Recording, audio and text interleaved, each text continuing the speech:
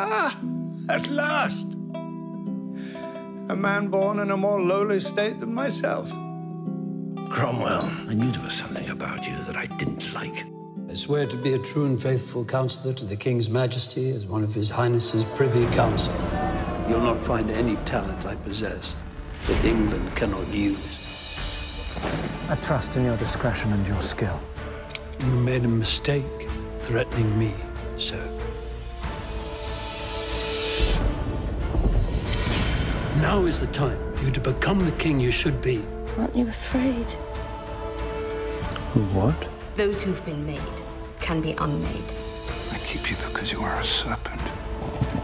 Everything that you are, everything that you have, will come from me. Wolf Hall, a six-part drama based on the novels by Hilary Mantel on BBC Two and BBC Two HD.